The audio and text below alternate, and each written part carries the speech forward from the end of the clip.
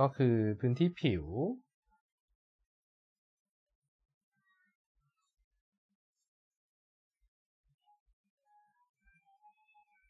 4x h ก็มีค่าเท่ากับ 280 280 หาร 4 ไปเลย 280 หาร 4 ก็ได้ 4 5 20 4 6 24 4 7 28 70 ก็เท่ากับ xh นี่เป็นสมการที่1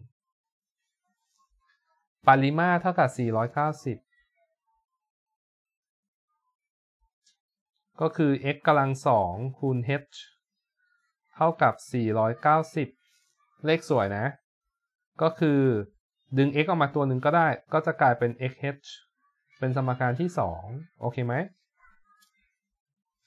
เราก็เอาสมการ 1 แทนในสมการ 2 ตรงนี้ปั๊บ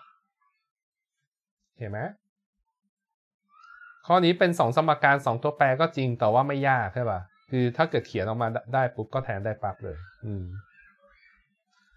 มันก็เลยได้ x มีค่าเท่ากับ7แล้วก็ h ก็ต้องมีค่าเท่ากับ10จบ